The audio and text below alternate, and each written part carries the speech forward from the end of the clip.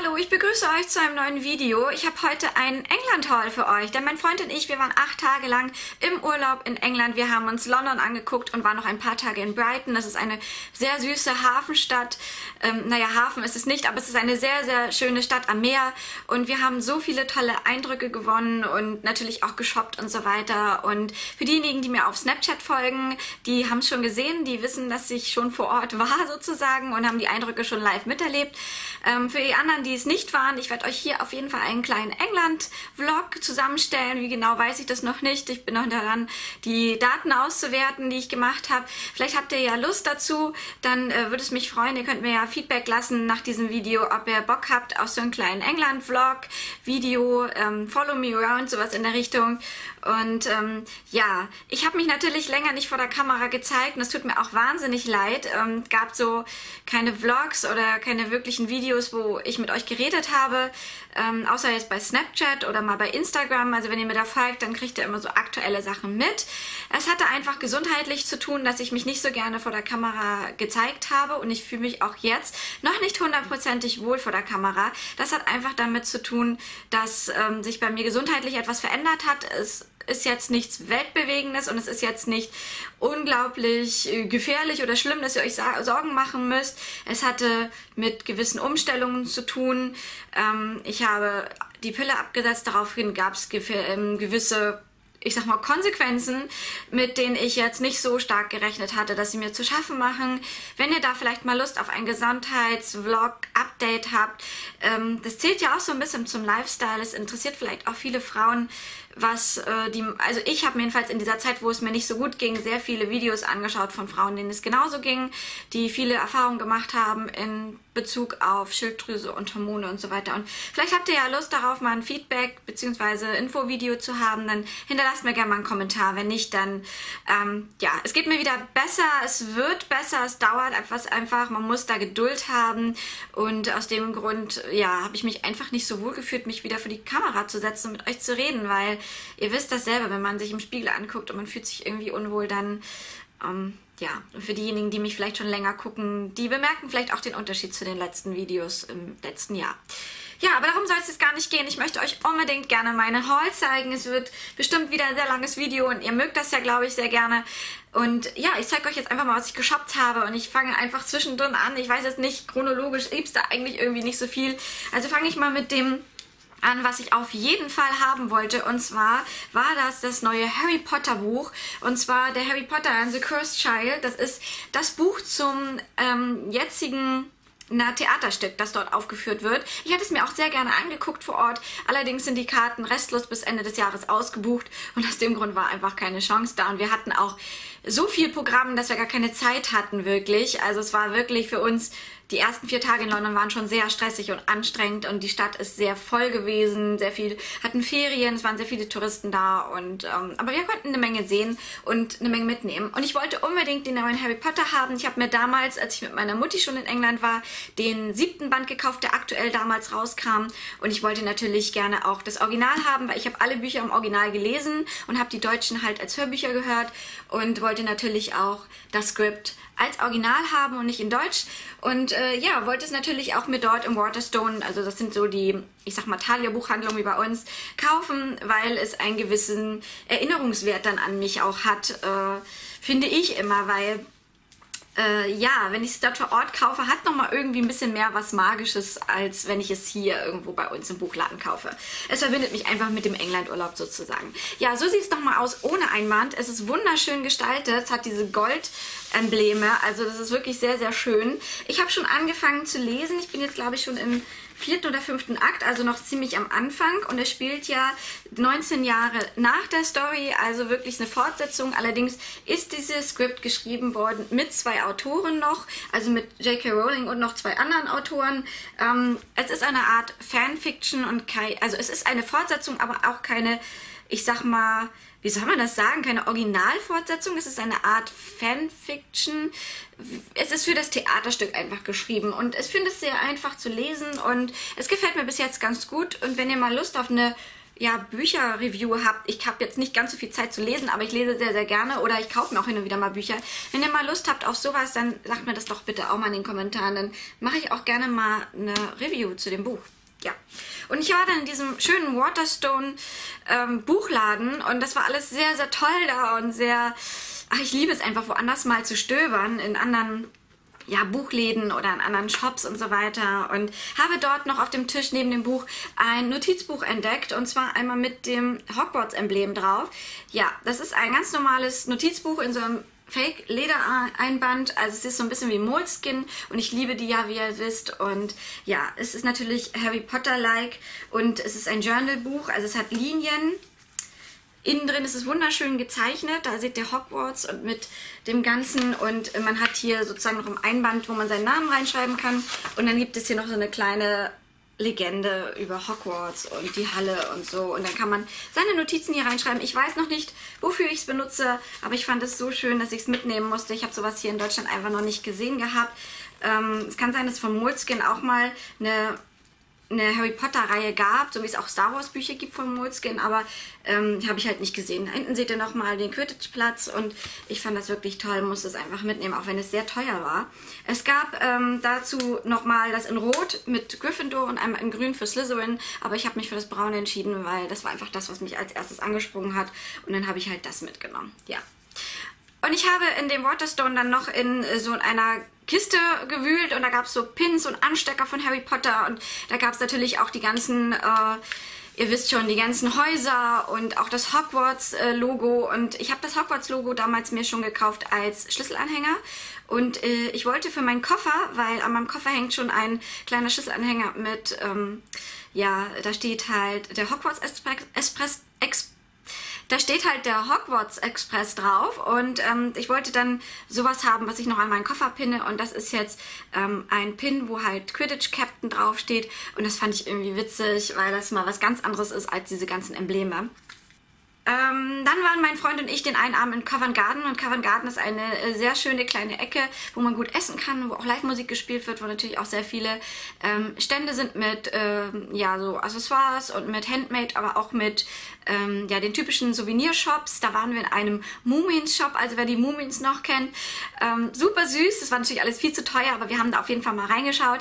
Ähm, ich werde euch hier vielleicht ein bisschen was einblenden, aber seht ihr das vielleicht auch sonst noch mal im Vlog auf jeden Fall. Schaut da unbedingt mal vorbei in dem Moment Shop, wenn ihr in London seid. ist einfach so niedlich anzuschauen. Und auch Covent Garden hat wunderschöne kleine Lädchen, wo man stöbern kann. Ja, und wir haben gedacht, wir brauchten, wir waren die ersten Tage sehr geizig, weil man erstmal mit dem Pfund klarkommen muss und es war alles eine Umstellung erstmals und ich kam auch mit dem Geld zuerst überhaupt nicht zurecht. Hinterher war ich echt schon Profi drin und ähm, wenn man drei Tage, vier Tage da ist, merkt man, dass man es doch irgendwie schnell hinkriegt. Und ähm, ja, wir waren da sehr geizig, weil man ein Pfund ist natürlich mehr als ein Euro, aber hinterher musste man dann einfach so sehen, ja, für uns ist der Pfund jetzt der Euro und der Pfund ist günstig. Für uns jetzt, wenn es nur ein Pfund kostet, also mussten wir da einfach durch, ja. Und dann haben wir irgendwann ab Tag 3 wirklich geshoppt. Das war auch da, wo ich dann die Bücher mitgenommen habe. Aber ich wollte ja auch, wie gesagt, den Harry Potter wirklich haben. Auch wenn ich ihn hier wahrscheinlich günstiger kriegen würde. Aber es geht mir einfach um das Flair. Ihr versteht das schon. Ich glaube, Harry Potter-Fans verstehen das schon, dass ähm, man den einfach in England kauft, wenn man da ist dann. Ja, äh, egal. Auf jeden Fall hatten wir dann da so unsere Souvenirzeit und haben dann, ähm, er hat sich so kleinen Hund, so einen Wackeldackel mitgenommen, so einen Boxerhund mit äh, Union Jack Outfit und ich wollte unbedingt irgendwas Kitschiges haben und habe mir diese Big Ben Salzstreuer gekauft. Salz und Pfeffer ist das. Und ich fand die einfach witzig. Ich weiß noch nicht, ob wir sie wirklich verwenden oder ob ich einen dort noch verschenke, weil sie ja beide gleich sind und wir nicht zwei brauchen, so theoretisch, weil Salz und Pfeffer, naja, wir haben unsere Pfeffermühle, aber ich fand es einfach witzig und wir wollten unbedingt irgendwas sehr Kitschiges haben.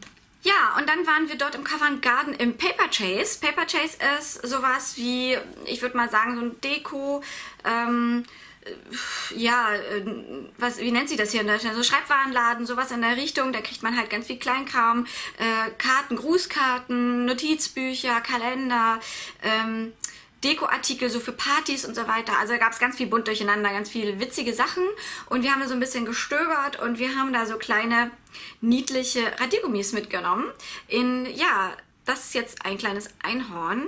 Und ich habe zwei mitgenommen, weil ich sie verschenken wollte. Die fand ich super, super süß. Allerdings weiß ich noch nicht, äh, weil ich jetzt für die Person, für die eigentlich gedacht werden, was anderes gefunden habe, ob die die bekommen oder ich sie jemand anders schenke.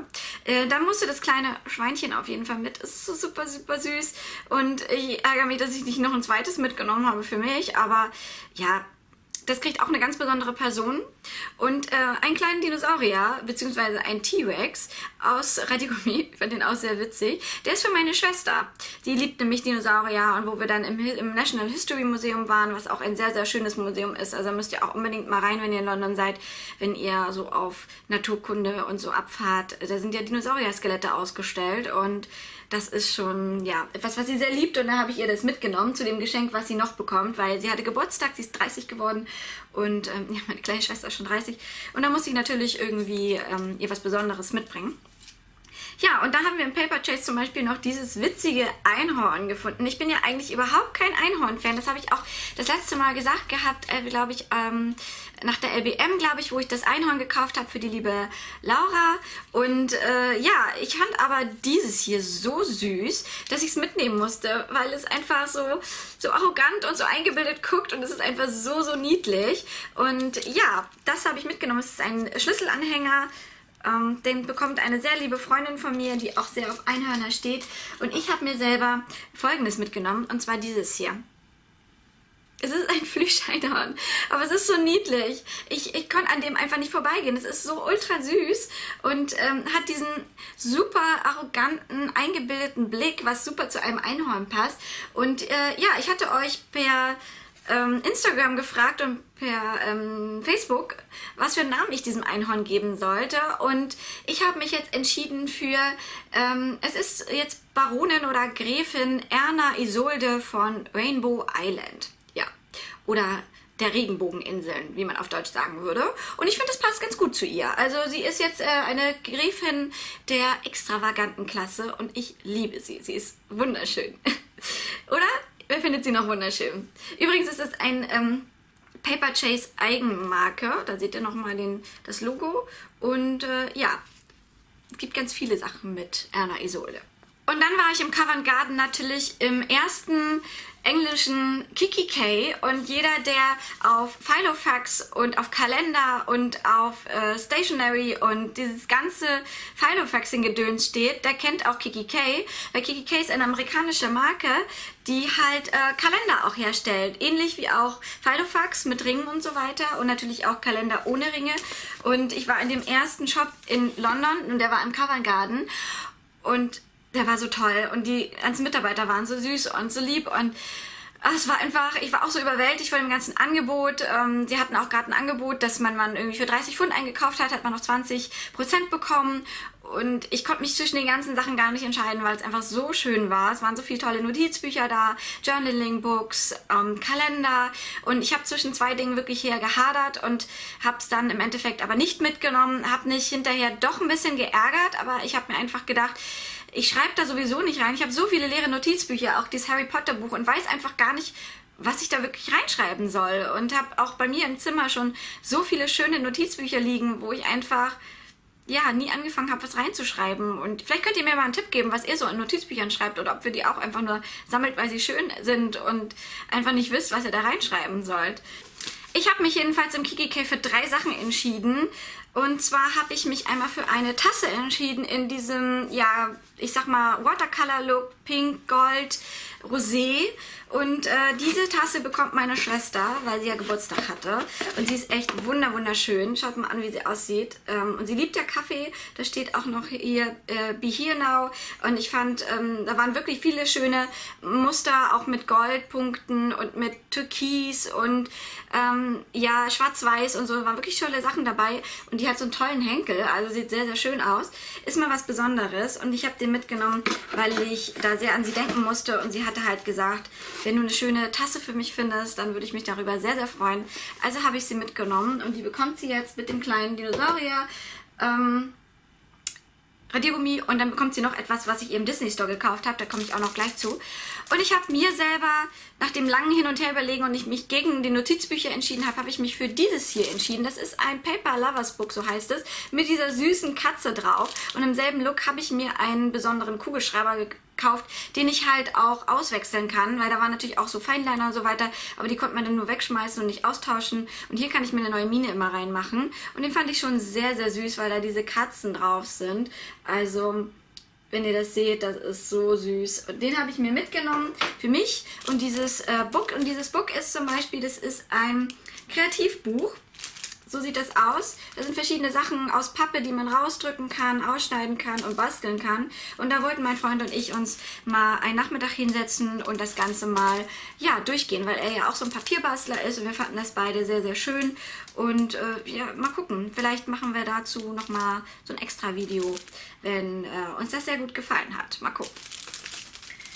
Auf jeden Fall habe ich die 20% ausnutzen können und äh, war sehr, sehr glücklich. Und ich würde auf jeden Fall jedem empfehlen, zum Kiki K zu gehen im Covent Garden, wenn man dort vor Ort ist. Und ich werde auch das nächste Mal, wenn wir da sind, auf jeden Fall wieder bei Kiki K vorbeischauen. Ja. Dann mache ich weiter mit einer Sache, die ich nicht gekauft habe. Und ihr euch wirklich wundern, warum hat sie die nicht gekauft. Wir waren im Hamleys äh, den einen Tag. Das war der ganz, ganz große Spielzeugladen in London. Der ist auch absolut abgefahren. Über vier Stockwerke ist es rein nur mit Spielzeug. Und man kann alles testen und ausprobieren.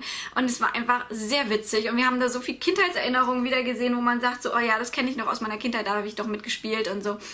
Und ähm, ich musste dringend auf Toilette, denn in England ist es so, dass es keine öffentlichen Toiletten gibt. Man muss dort wirklich in Kaufhäuser oder in Geschäfte gehen, was ja kein Problem ist, weil die Geschäfte darauf ausgelegt sind. Und der Hamleys hatte natürlich ähm, dort Toiletten und ich war da und ich war dann da alleine und habe dann da etwas liegen sehen, wo ich dachte, oh, das hat jemand vergessen und es kam auch keiner zurück. Ich habe extra noch ein bisschen gewartet und äh, ich wusste auch nicht, wo ich es abgeben sollte, weil der Laden sehr, sehr voll war und an der Kasse war es sehr, sehr voll und ich wollte mich nicht anstellen, ich wollte da nicht mich vordrängen. Es war auch so der erste Tag, wo wir da waren und da traute ich mich einfach auch noch nicht so auf Englisch so viele Leute anzuquatschen, ich weiß es nicht. Und äh, dieses schöne Stück hier, das ist ein äh, Weihnachts, ein, eine Weihnachtskugel im Big Ben und der glitzert und er ist wunderschön äh, und die Dinger sind super teuer.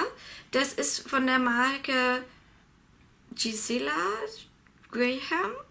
Auf jeden Fall hat das 6 Pfund gekostet. Das ist umgerechnet fast 10 Euro. Für das für eine Weihnachtskugel wirklich echt teuer ist. Und ähm, ja, ich habe den jetzt mitgenommen. Man mag daran denken, was man will, aber ich weiß es nicht. Hättet ihr das gemacht? Ich ähm, habe in dem Moment nicht so wirklich drüber nachgedacht, außer es ist zu schade, dass es hier liegt und nachher kaputt geht. Ähm, dann freue ich mich lieber drüber. Und die Person, die es gekauft hat, es tut mir leid, aber wahrscheinlich wird sie niemals wissen, wo sie es verloren hat und würde es ewig suchen und ja, deswegen habe ich ihn mitgenommen. Und ich finde ihn sehr süß. Ja, mal gucken, ob ich ihn mir dekoriere zum nächsten Weihnachten oder ob ich mir so irgendwo hinhänge. Ja, den einen Tag waren wir dann noch im Britischen Museum. Und im Britischen Museum ist es ja alles sehr... Ähm, naja, es ist sehr geschichtlich dort. Also ihr kriegt ganz viel Info über die Ägypter, über die Griechen, über die Assyrer, über ganz viel Mythologien und auch ganz viel, ich sag mal, echte Sachen. Also wie gesagt, wer bei Snapchat vorbeigeschaut hat, hat das schon gesehen. Ähm, die haben da ganz viel Sarkophage ausgestellt und Schmuck und ähm, besondere Kelche und sowas alles. Und da gibt es auch noch einen Raum, der ist sehr, sehr schön. Da sind sehr viele kleine Dinge ausgestellt und Bücher und so eine Art Bibliothek. Und allein dieses Museum ist so, so wunderschön von der Architektur her. Auch das National History Museum ist wirklich wunderschön von der Architektur. Also wie gesagt, wenn ihr in London seid und ihr habt Bock auf sowas, dann geht mal in ein Museum. Das lohnt sich wirklich. Allein, dass sie kostenlos sind. Ihr könnt euch daran aufhalten. Ihr habt freies WLAN dort. Und ich habe natürlich dort in dem kleinen Shop noch ein bisschen was mitgenommen, weil ich auch an eine Freundin denken musste, die sehr Ägypten-Fan ist, wie ich auch. Und äh, aus dem Grund habe ich mir selber diese kleine süße Pyramide mitgenommen. Das ist ein Radiergummi. Den werde ich mir auf meinen Schreibtisch stellen. Ich finde ihn einfach sehr, sehr witzig. Und ähm, könnte man den auch als Briefbeschwerer nehmen. Er ist nämlich auch sehr, sehr schwer. Und äh, dann habe ich noch so einen Stift mitgenommen, einen Bleistift mit der Pyramide oben drauf. Und da sind hieroglyphischen, die Hieroglyphen das Alphabet drauf und ähm, ja, den bekommt eine Freundin von mir, weil sie, wie gesagt, sehr Ägypten-Fan ist. Und äh, ich habe dann noch so kleine Skarabensteine mitgenommen, die man an äh, ein Band machen kann und davon wird sie auch einen bekommen und einen behalte ich. Ja. Und dann haben wir noch ein Geschenk mitgenommen für eine Freundin, die ebenfalls gerade 30 geworden ist, als wir im Urlaub waren. Und das ist natürlich eingepackt, das kann ich euch jetzt nicht zeigen. Das ist eine Schreibfeder mit Tintenfass, sehr, sehr schöne Ausführung. Und weil sie sehr, sehr gerne schreibt, bekommt sie halt dieses Geschenk von uns. Ja. Und ihr müsst auch keine Sorgen haben, denn alle Geschenke, die ich euch hier gezeigt habe, haben die Personen jetzt schon bekommen. Wir waren den einen Abend noch am Piccadilly Circus. Das ist auch einer der berühmtesten Eckpunkte von London. Das ist diese große, ähm, ähnlich wie Times Square in, in New York, nur viel, viel kleiner. Mit dieser großen Wand, die ja da überall Werbung spielt. Und da ist ein riesen Boots und das ist so eine Art Knotenpunkt, ich würde mal sagen eine Art Kreuzung. Und da ist in der Nähe der M&M Store. Und wir waren den einen Abend noch da, um Fotos zu machen. Und dann habe ich zu Matti gesagt, lass uns doch nochmal in den M&M Store gehen, der ist hier in der Nähe und der hat bis 10 Uhr offen. Also ich möchte in England nicht arbeiten, die haben keine gesetzlichen Öffnungszeiten, was natürlich für einen Touri cool ist, aber für einen Arbeiter dort echt anstrengend ist und ich komme aus dem Einzelhandel, ich weiß, wovon ich rede, es ist super anstrengend und jedes Geschäft macht da seine eigenen Öffnungszeiten und der M&M Store hatte noch bis 10 Uhr abends auf. Ähm, es gab da einige Läden, die hatten sogar bis 1 Uhr nachts auf oder bis Mitternacht. Äh, das tat mir wirklich leid, aber das ist da so. Also, und auch sonntags, sie haben auch sonntags offen und so weiter. Also, wie gesagt, als Touri ist es cool, aber arbeiten möchte ich da nicht. Und wir waren im M&M Store. Ich habe hier die kleine Tüte noch aufbewahrt, weil ich mir natürlich, wie alle anderen auch, die dort sind, M&Ms abgefüllt habe. Das ist schon die Hälfte der Tüte. Wir haben schon ganz schön viel gegessen. Ähm, die haben leider keine extra Sorten, so wie in New York oder so oder in, in Asien. Sie haben wirklich wie bei uns nur Schokopeanut und Crispy und ähm, allerdings in verschiedenen bunten Farben. Und ihr seht hier noch ein bisschen, ich habe ja so Pastellfarben drin und ähm, ich hatte da die Union Jack Farben drin und die sind immer zu Themen irgendwie ja, abgefüllt. Ihr könnt sie einmal so regenbogenfarbenmäßig abfüllen oder ihr könnt sie halt schon gemischt abfüllen.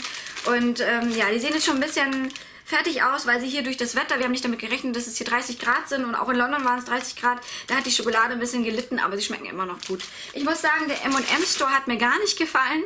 Es sind zwar drei riesige Stockwerke vollgestopft mit Merchandise. Ich bin nicht so ein Fan von diesem Merchandise, das hat mich nicht so angesprochen. Ich fand das sehr kitschig und ähm, habe mich gefragt, wofür ich es brauche. Aber es gibt Leute, die stehen da wohl drauf und diese kleinen Spender sind ja auch ganz witzig.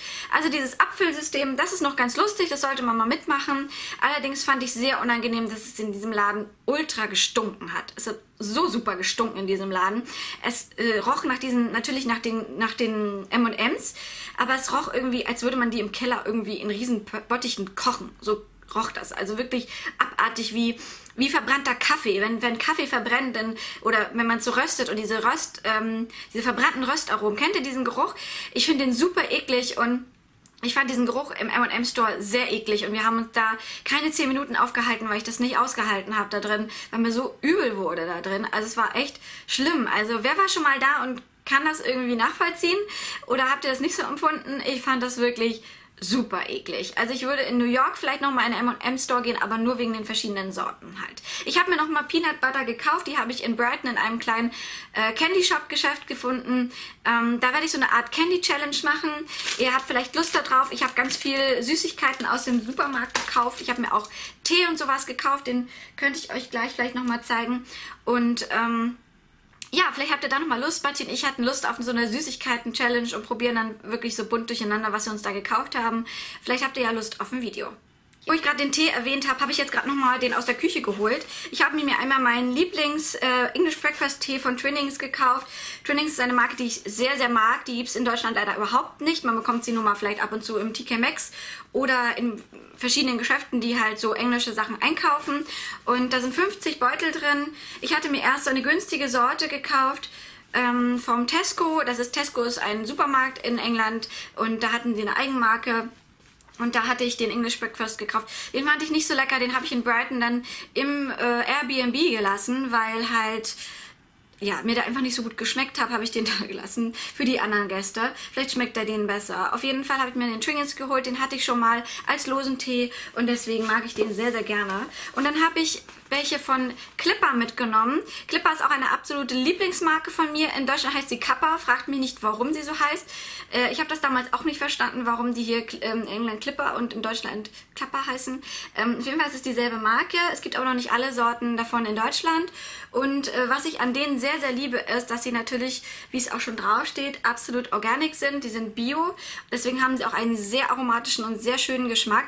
Ich kann einfach keine Kunsttees mehr trinken. Ich kann zum Beispiel keine Tees mehr von Mesmer oder Teekanne oder so trinken, weil ich jetzt langsam doch den Kunstgeschmack immer rausschmecke und ich stehe sehr auf die und gebe lieber einen Euro mehr aus und kaufe mir die. Obwohl die in England sehr günstig sind. Die haben da, glaube ich, nur knapp 1,50 Pfund gekostet. Obwohl das ist wie bei uns auch so 3 Euro. Das könnte man in etwa gleich sehen.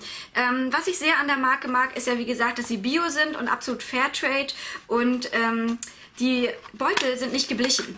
Das ist etwas, was ich auch sehr, sehr liebe. So sehen die halt aus. In England trinkt man Beutel ohne Faden und ohne irgendwas. Also das ist auch etwas, was man mögen muss. Und das Aroma ist der Wahnsinn. Also das ist jetzt Pfefferminztee und der riecht schon wahnsinnig gut.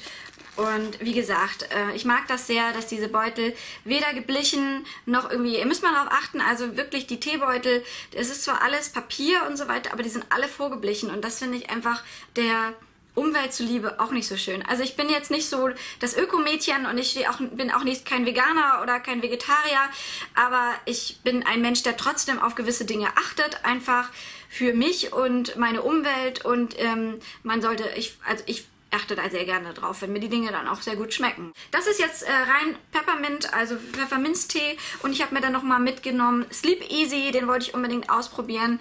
Das ist eine Mischung aus, ich glaube, Kamille, jetzt muss ich mal gucken, Cinnamon, Kamille, Rooibos, Lemon Balm, äh, Valerian Wood und Orange Flavoring. Also, ne, das sind, das, ich bin mal gespannt, wie der schmecken wird. Ja, da kann ich euch ja vielleicht nochmal ein Update sagen, wenn wir diese Candy Challenge machen. Vielleicht, wenn ihr Lust habt auf verschiedene Updates zu Tee oder so. Also ich bin ja absoluter Teetrinker und liebe Tee und am liebsten habe ich Schwarztee.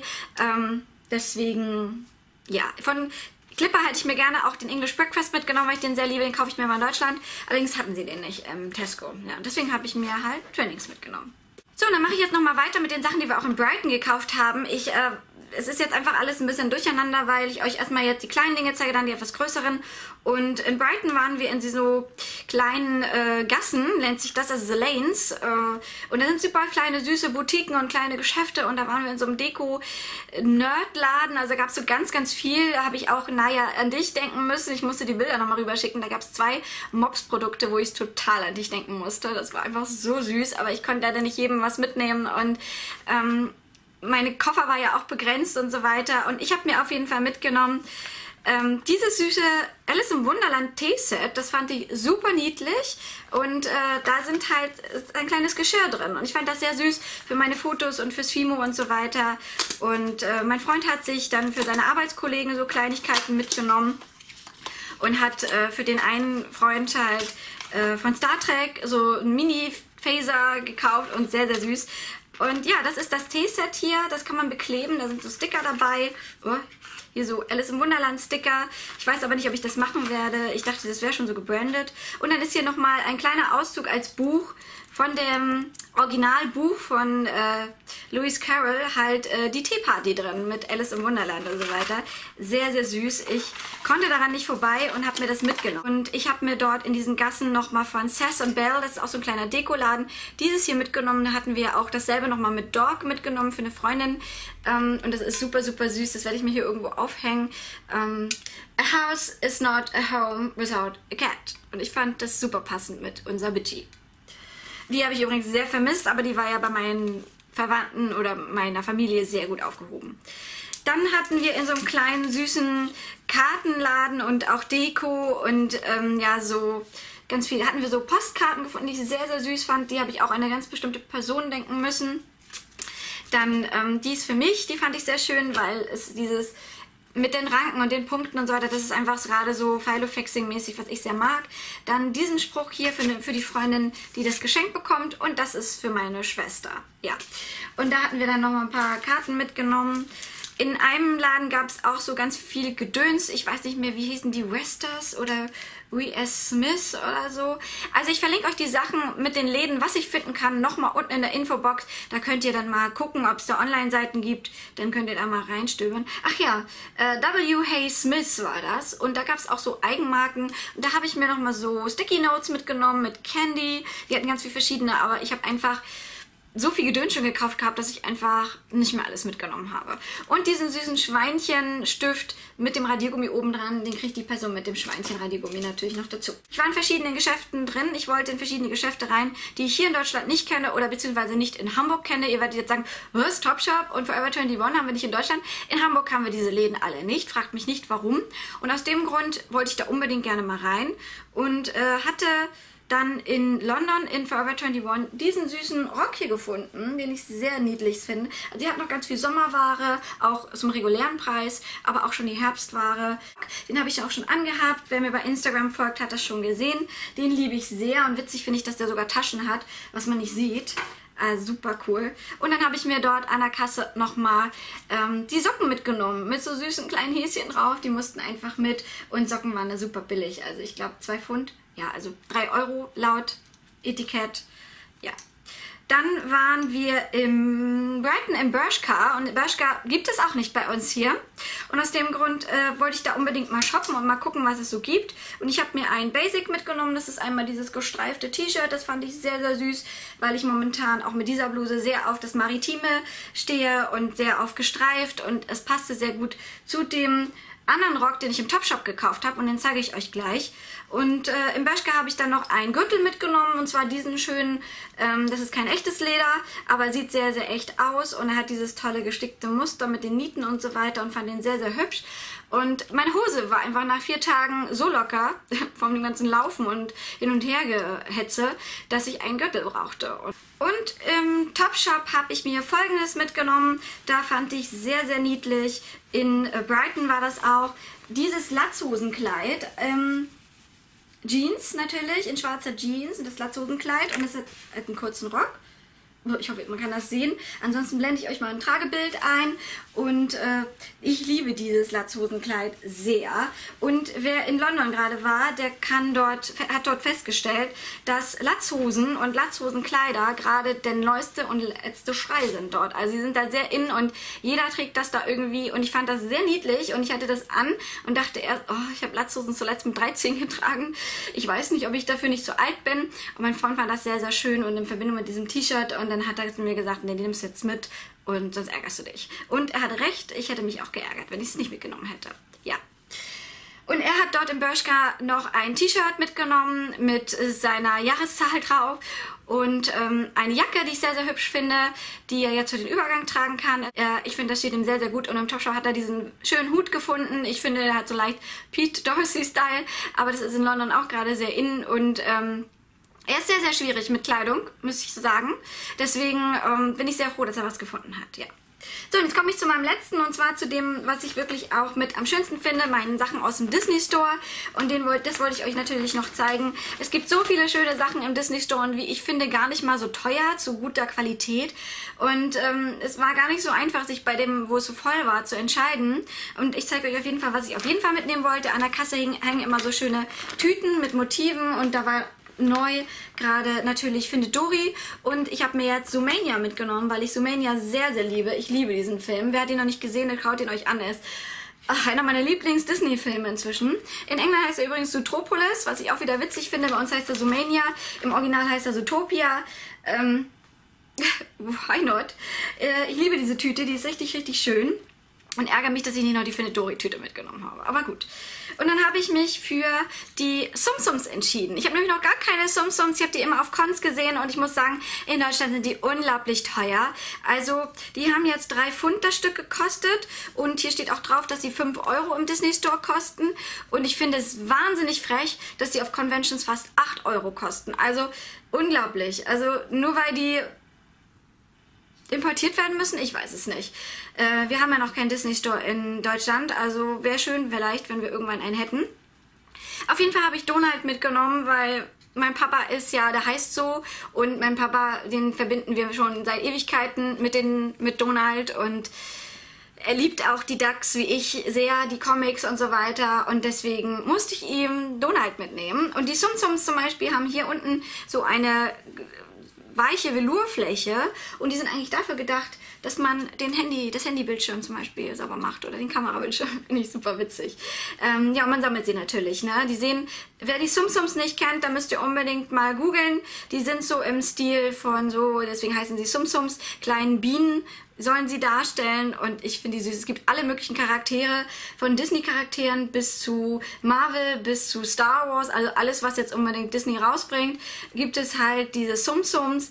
Und ich äh, konnte mich so gut wie gar nicht entscheiden, weil die alle so süß waren. Und es gibt auch so, so Aladdin und Jasmin und Jago und ähm, Klopfer und Bambi. Und das ist einfach so süß. Und wo ich da schon mal bei Bambi bin, ich habe meiner Schwester noch Bambi mitgenommen, der hat als Kind Bambi sehr geliebt und hat bestimmt bestimmt Bambi 5000 Mal am Tag geguckt.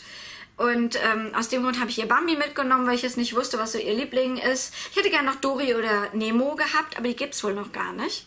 Ja, den habe ich auf jeden Fall mitgenommen. Und für mich selber habe ich Ray und BB-8 mitgenommen. Ich bin ja absoluter Star Wars-Fan. Und ähm, ja, BB-8 musste auf jeden Fall mit. Den fand ich so süß und knuffig. Und Ray fand ich einfach witzig hier mit den kleinen Bobbles. Und ähm, ja, also Ray und BB-8 ist für mich die anderen beiden verschenke ich. Und in Brighton habe ich nochmal in einem kleinen Geschäft äh, Judy Hobbs gefunden. Und ich bin ja, wie gesagt, schon ein riesen Sumania-Fan. Ich hätte natürlich gern die richtige Judy. Es gibt natürlich die zum Politessen-Outfit noch die normale Judy. Die hätte ich noch gern und ich hätte Nick gern gehabt, aber den gab es da nicht. Und aus dem Grund habe ich Judy Hobbs als Politesse mitgenommen. Ja. Und hier seht ihr nochmal, dass sie so für Bildschirme geeignet sind. Super niedlich. Super süß. Und dann musste ich etwas mitnehmen, an dem ich nicht vorbeigehen konnte. Und jetzt wird sich jeder denken, oh Gott, warum? Und oh nein, ist, ist da irgendwas, was sie uns sagen will? Nein. Ich will euch damit nichts sagen. Ich konnte einfach nur daran nicht vorbeigehen, weil es so süß war. Also Disney hat sehr, sehr viel zu verschiedenen Themen, ähm, also zu Aladdin, zu, ja, zu, zu Belle und das Schöne und das Biest und zu Frozen und die haben sehr viele Themen und es gab zu Thema Bambi eine Babykollektion. Und sehr niedliche Sachen, so Puschen und kleine Strampler und äh, kleine Handtücher und alles mit dem Bambi. Und ich musste, ich konnte, ich ging nicht, es war so süß, es war so süß und flauschi. Ähm, das ist Bambi als äh, Nuckel-Spucktuch. Und hinten ist es so, es sieht aus wie so ein fliegendes Eichhörnchen, findet ihr nicht? Hat dann diese Knotenenden. Es ist super flauschig, ist super weich und ich konnte einfach nicht, es ist so niedlich. Also nein, ich will euch damit nicht sagen, ich bin nicht schwanger und ich habe auch nicht vor, in den nächsten Monaten, Wochen, Jahren ähm, Kinder zu bekommen. Also vielleicht noch, aber äh, jetzt sofort noch nicht. Und für den Fall werde ich es mir einfach aufbewahren oder ich bewahre es mir auf, dass vielleicht einer aus der Verwandtschaft irgendwann mal Babys bekommt. Ja weiß ich noch nicht. Aber es ist so süß. Ich konnte einfach nicht anders. Es ist so niedlich. Ihr guckt, müsst euch mal online die ganze Babykollektion angucken. Die ist einfach so zuckersüß. Und ich fand es auch gar nicht so teuer. Es hat jetzt 8 Euro gekostet. Also, nee, 12 Euro, 8 Pfund. Aber es ist okay. Für ein Spucktuch für Disney fand ich das irgendwie okay vom Preis. Ja, eine Sache habe ich euch vergessen zu zeigen, und zwar diesen Becher, den habe ich nur einer Freundin gekauft, die immer sehr, sehr viel für mich macht.